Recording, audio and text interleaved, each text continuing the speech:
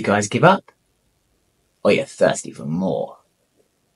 If you are, just click one of the links. If you're not, there's some other videos down the side here. Maybe have a look at one of those. Thanks for watching.